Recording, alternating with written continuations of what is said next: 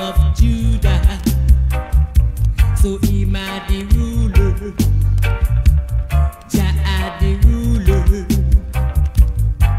He's the king of kings and the lords of lords. He's the conquering lion from the tribe of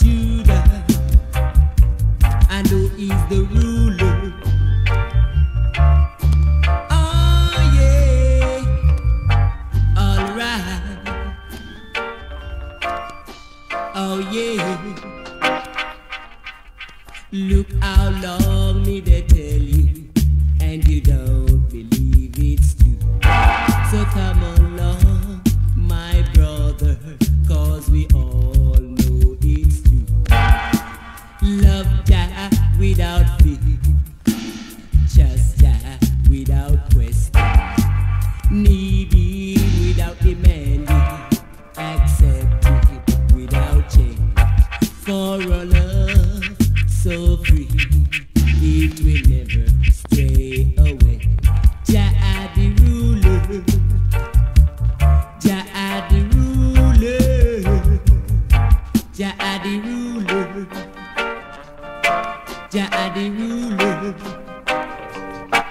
He made the moon, he made the star, he didn't make man to make war.